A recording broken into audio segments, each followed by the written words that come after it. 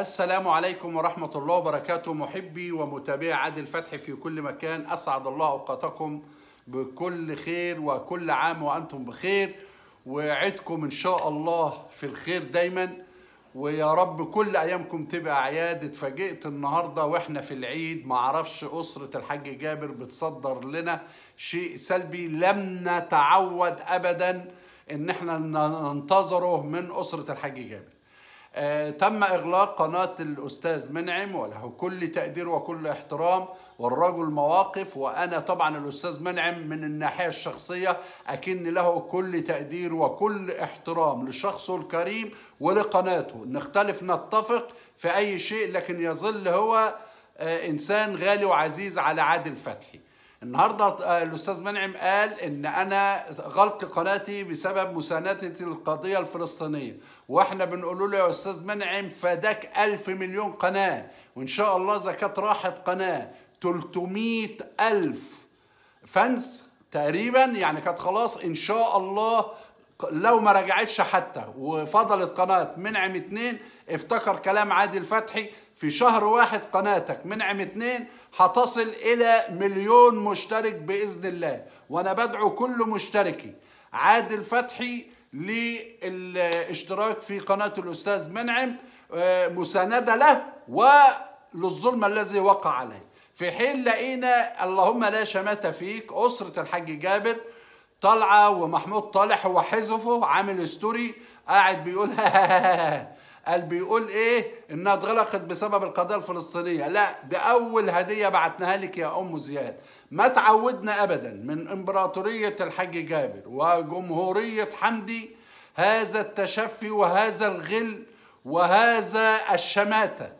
في قناة خاصة إن دي قناة مرآة كبيرة جدا وده على فكرة مسمار كبير جدا مسمار كبير جدا بيتحط في إمبراطورية الحاج جابر وقنواته. وأنا بقول للحاج جابر نداء من هذا المكان. وحمدي كفوا عن أي تحركات لأن ده مش هيبقى في صالحكم على المستوى الإنساني.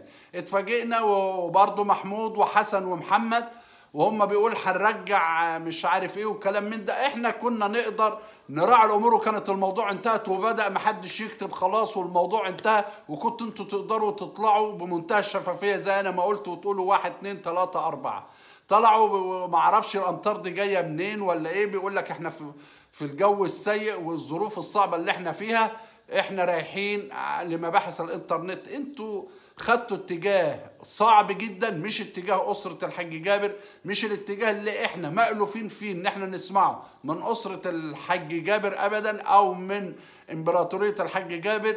أنتوا اليوم عيدتوا على المصريين عيد صعب جدا مرارة كبيرة جدا. بنقول لمنعم كل المساندة ليك يا منعم.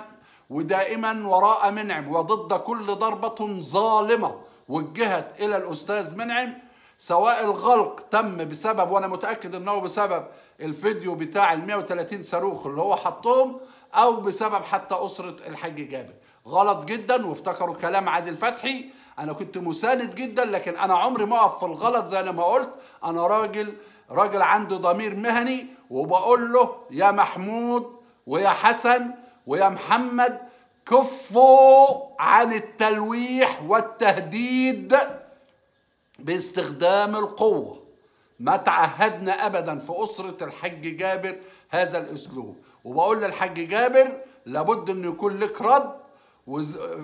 لأن لما حاولتوا مثلا تأذوا آلاف القنوات هيبقى ده بالنسبة لكم شيء غير يعني منصف لكم. كل التحية وكل الاحترام وكل التقدير وكل سنة وكل محب عادل فتحي بخير. ولكن اللي أنا شفته النهاردة شيء صعب جدا جدا وبنقول له الأستاذ منعم ولا يهمك قناة.